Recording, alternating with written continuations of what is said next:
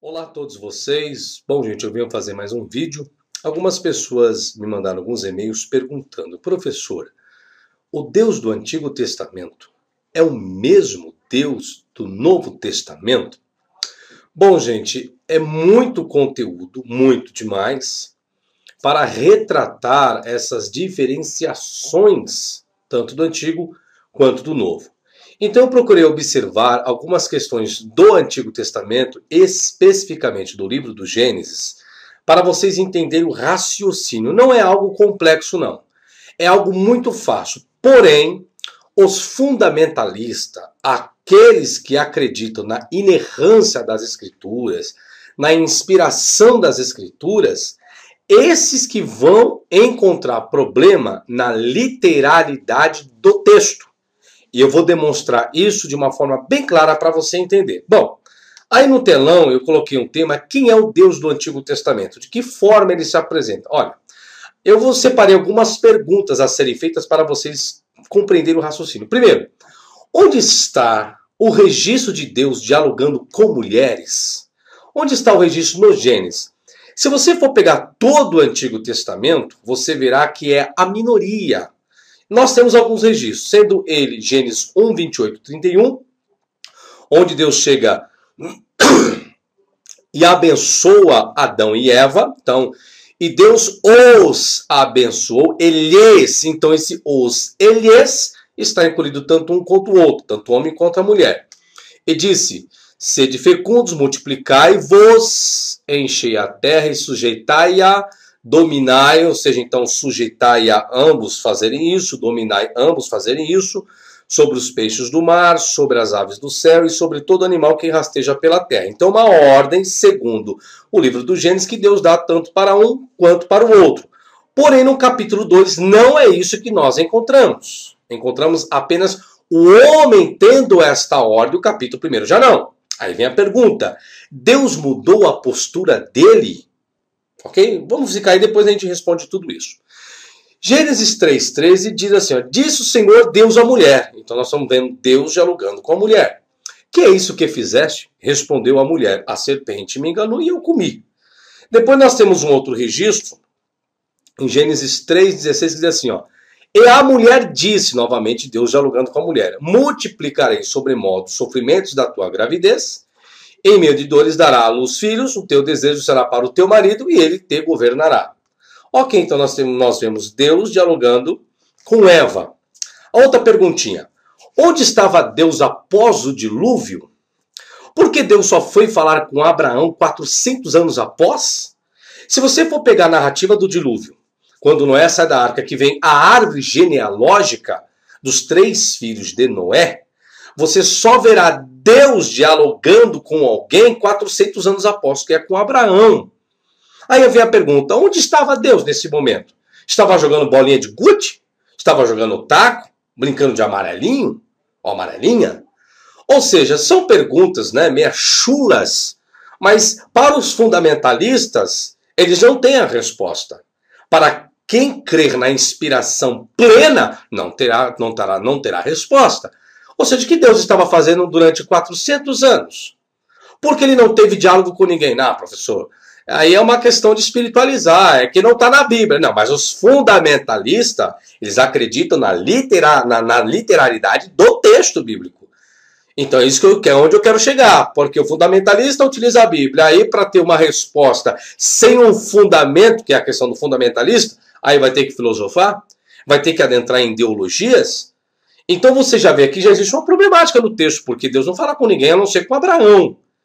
E você pega nesse espaço de tempo dentro da história, é onde existe o politeísmo. Se nós adentrarmos na história antiga, dos impérios antigos, que é o que nós veremos, exemplo, o Império Egípcio. O Império Egípcio era um império politeísta, e tantos outros impérios na época eram politeístas pós-dilúvio. Ou seja, se esse Deus é existente desde toda a história, por que esse Deus não procurou então fazer que as nações antigas, antes da nação hebreia, antes de Abraão, fossem todos monoteístas? Parece que a influência de Noé para os seus três filhos e para a geração que vieram pós-dilúvio não foi suficiente. Logo, então parece que esse Deus do Antigo Testamento também não foi suficiente para preservar a honra à pessoa dele, a ponto de ter tantas outras nações politeístas, que foi o caso de Abraão. Abraão era politeísta, Terá, pai de Abraão, era politeísta. E esse Deus estava onde? Fazendo o quê durante todo esse tempo? Então Deus só vai se apresentar depois de Noé para Abraão 400 anos após o dilúvio para dialogar com Abraão. Complexas informações, né? Mas vamos a algumas outras perguntinhas, depois eu trago a resposta. Se outros andaram com Deus como Enoque, qual a razão de a razão de não ter privilegiados outros assim como Noé? Por quê? Em Gênesis 5:24 diz assim: ó, andou Enoque com Deus e já não era porque Deus o tomou para si. Beleza, Enoque andou com Deus e Deus o tomou para si. Bah. Gênesis 6,9. Eis a história de Noé. Noé era homem justo, íntegro entre os seus contemporâneos. Noé andava com Deus. Agora, por que Deus não tomou para si também? Tanto Enoque andava com Deus, Noé também. Ué, não são direitos iguais? Não. Pelo ver aqui, não. Deus privilegiou Enoque, mas Deus não privilegiou Noé. Não tem coisa errada? Se você olhar por esse foco, sim, esse Deus é um Deus estranho. É um Deus que escolhe um, preserva um, e não escolhe o outro. Deixa o outro a quem? Quando os princípios são os mesmos. Porque diz que não era o quê? Homem justo, íntegro e andava com Deus. Porque Deus não levou também? Mas não foi o que ocorreu, né? Quinta perguntinha diz assim: Se era para eliminar todos os seres humanos juntamente com animais e etc., qual a razão de ter preservado alguns animais? Como assim, professor? Olha Gênesis 6,7 diz assim: ó, Disse o Senhor: Farei desaparecer da face da terra o homem que criei, o homem e o animal, os répteis e as aves dos céus, porque me arrependo de as ver feito. Deus não falou que ia destruir, não está escrito aqui em Gênesis 6,7? Agora, foi o que aconteceu? Não, não foi. Por que não foi, professor? Noé não teve que colocar casal de animais dentro da arca para preservar? Não foi isso que aconteceu? Foi. Agora, onde está o cumprimento disso aqui? Deus falou que iria exterminar. É claro o versículo. Gênesis 6,7 é claro. Farei, farei desaparecer da face da terra o homem que criei, o homem, o animal, os répteis e as aves dos céus, porque me arrependo de os haver feito. Então Deus se arrependeu de haver feito tudo. Como pode um Deus desse?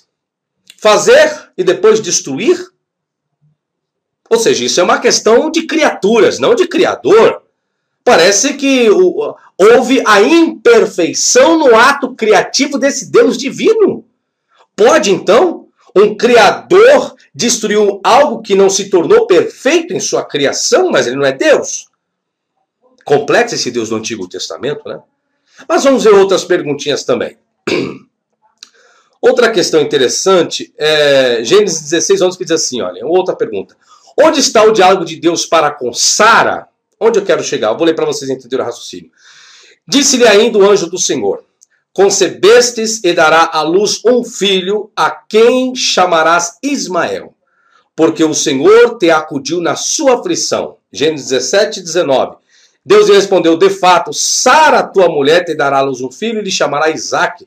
E estabelecerei com ele a minha aliança, aliança perpétua para a sua descendência. Ou seja, para que Deus teve um contato com Agar acerca dela ter um filho. Porém, não foi o mesmo com Sara é, Deus tem um contato com Abraão. Deus não tem um contato direto com Sara. Peraí.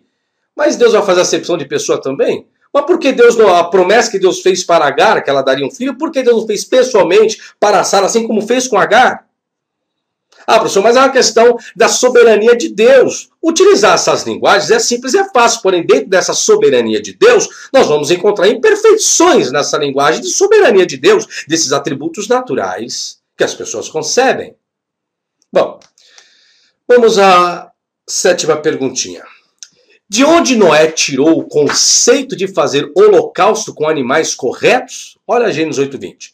E edificou Noé um altar ao Senhor e tomou de todo animal limpo e de toda ave limpa e ofereceu o local sobre o altar. De onde Noé tirou isso?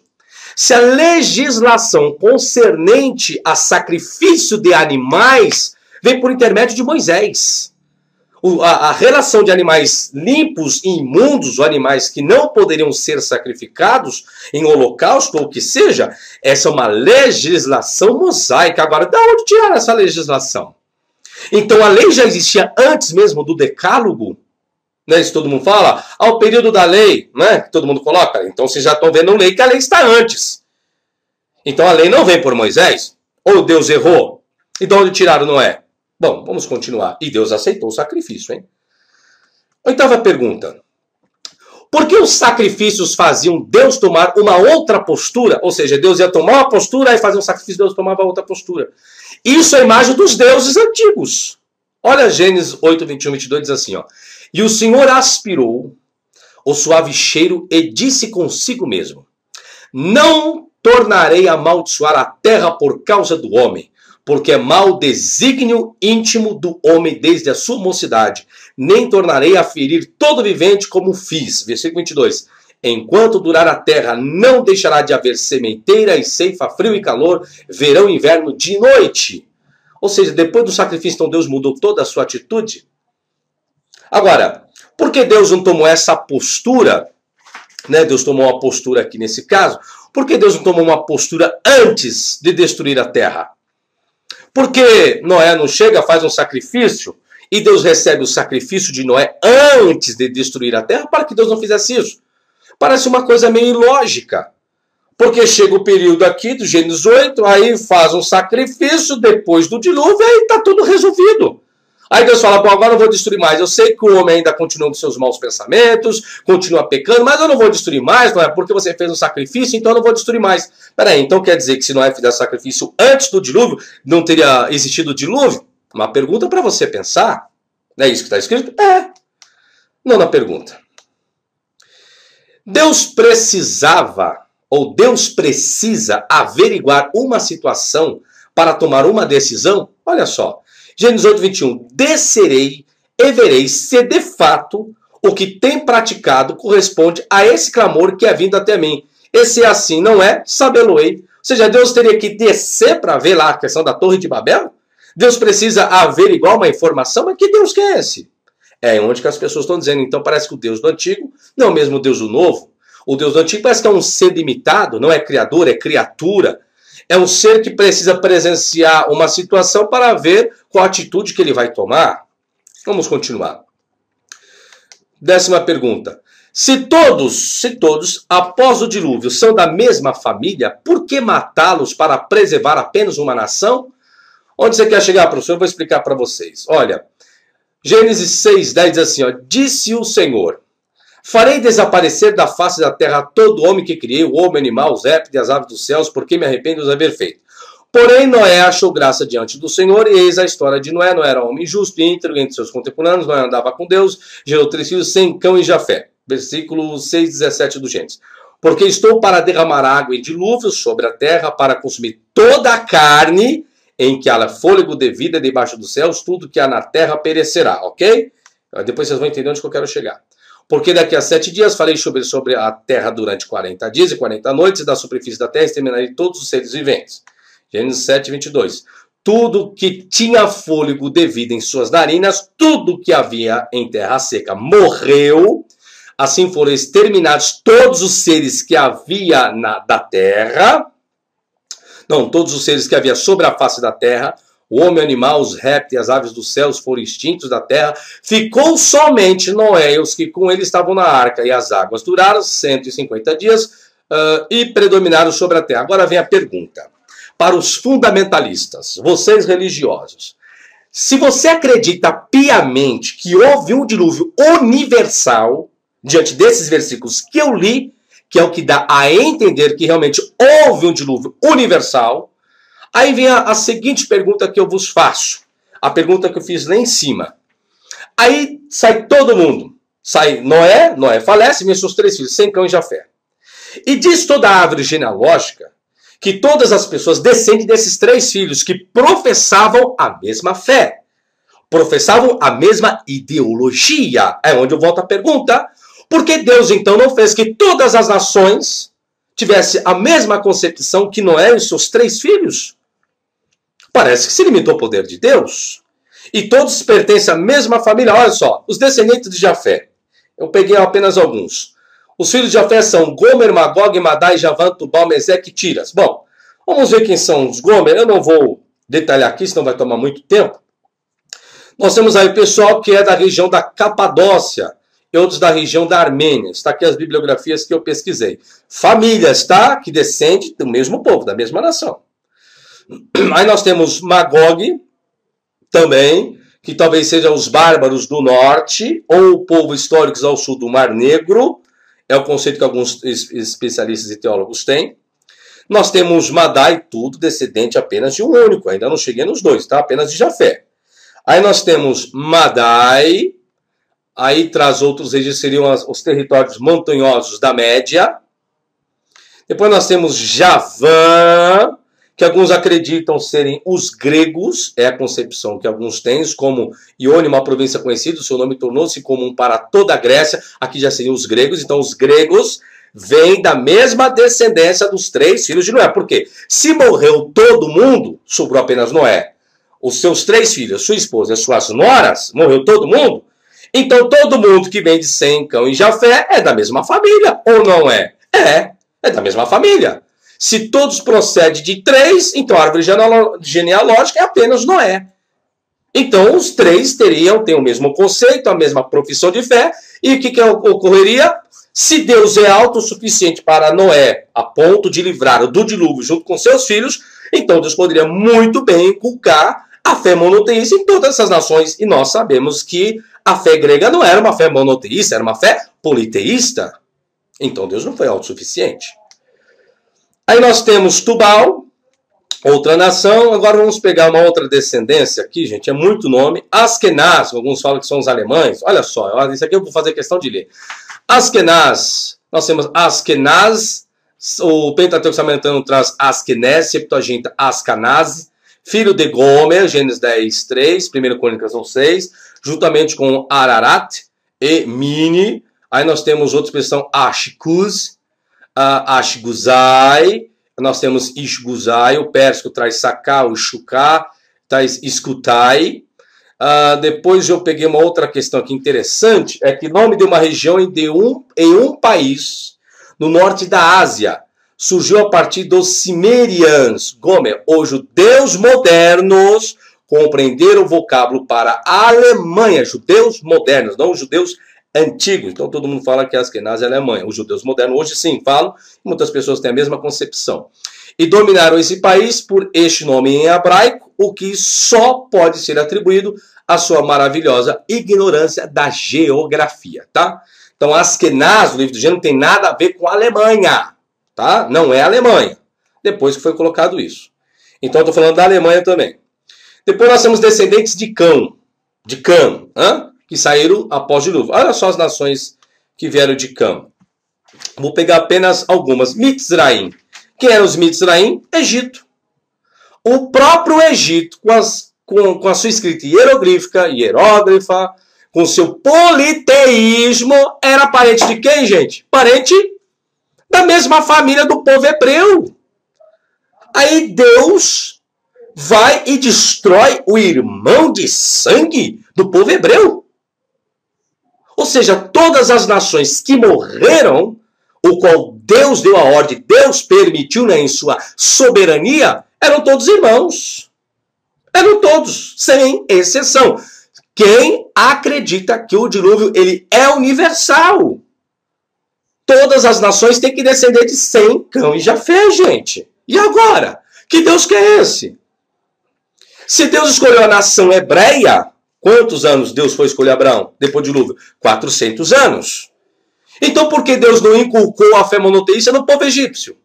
As, se assim houvesse sido, então não, não teria havido a necessidade de Deus destruir o Egito. Acabou. Não haveria perseguição nenhuma se todos professassem a mesma fé. Mas não foi o que aconteceu. Bom, só para vocês verem onde as coisas vão parar. Outros nomes que ainda tem, fora Mitzraim, Aí tem Put, Canaã. Então onde vem o povo? Cananeu. Canaã da onde vêm os cananitas, a terra do Jordão, em oposição à terra de Gileade, conhecido como Fenícia, Isaías 23, 11, ou seja, a parte norte de Canaã, situada na base do Líbano, cujos habitantes chamam de Canaã, a língua de Canaã, isto é, hebraico, que os cananeus hebreus usavam. Então, a língua hebraica descende dos cananeus, e os cananeus eram o quê? Eram politeístas, e os cananeus eram irmãos de quem? Irmão de Cão, filho de Noé, mesma família.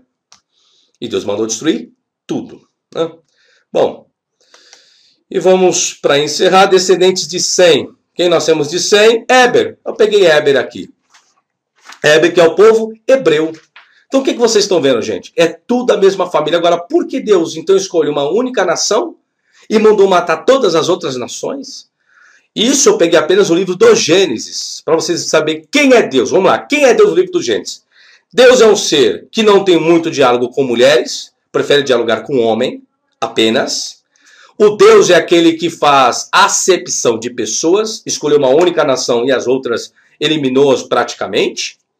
Deus é aquele que fez uma promessa que iria destruir animais de toda a face da terra, e não foi isso que ele fez. Ele acabou preservando casais de animais. Esse é o Deus, é o Deus do Gênesis. É o Deus dos fundamentalistas, é o Deus dos religiosos, que não entende a perspectiva do autor. E essa é a resposta. Isso é o Deus verdadeiro? Não, gente, isso não é Deus. Isso é a ideologia do escritor da narrativa do Gênesis. Essa é a ideologia do grupo que traz essa narrativa comparando com outras. A visão desse escritor é priorizar uma nação, é isso que ele procura fazer. Ele procura priorizar como? Ele procura priorizar e Deus destruindo as outras nações que seguem os outros deuses. Porém, nós não podemos esquecer, para quem acredita no dilúvio universal, que as outras nações descendem da mesma família. Ah, cada um tem a sua opção de escolha. O ser humano, sim, só que parece que Deus também tem a sua opção de escolha. E o que leva você a, a ter uma opção de escolha? Quando é que você tem uma opção de escolha? Hã? Você sabe, não sabe? Quando você tem duas coisas a ser escolhida, não é isso? É. Quando algo é bom e algo é ruim, não é isso? É, eu sou opção de escolha. Agora, Deus precisa de várias coisas para ter a sua opção de escolha? Deus precisa ver o bem e o mal para fazer a sua opção de escolha? E a nação de Israel não trouxe problema para Deus, não? Depois eu vou abordar os outros vídeos para vocês verem sendo a mesma coisa. Então não tem como eu articular essa ideologia, essa filosofia, entrar numa lógica que Deus tem uma opção de escolha diante do bom e do mal. Peraí, Deus não precisa de opção de escolha, Deus não precisa saber do bem e do mal se Ele é Deus. E depois nós vamos chegar no livro de Isaías, que Deus cria o bem e Deus cria o mal. Alguns falam, ah, mas não é o mal, tal, isso e aquilo. Não, é o mal mesmo, só pegar o contexto. Sem falar de particularidades, parece que Deus se arrependeu de algumas informações. Agora, Deus se arrependeu? Não, gente. Isso é ideologia do autor. Então, para você entender quem é Deus no Antigo Testamento, você vai entendê-lo pela perspectiva de quem escreve. É isso que ele faz você entender que é um Deus que prioriza, é um Deus que faz acepção de pessoa, é um Deus que não gosta muito de diálogo com mulher, é um Deus que gosta do diálogo com o homem, é o Deus que é o Deus da particularidade, é um Deus severo, é um Deus que fala uma coisa que vai fazer depois ele volta atrás. Esse é o Deus da visão do autor do Gênesis. Agora, o dia que você conhecer Deus verdadeiramente, acho que nem da escritura você vai precisar, porque a escritura às vezes, na visão do autor, atrapalha um raciocínio bom, legal de realmente quem é o Criador.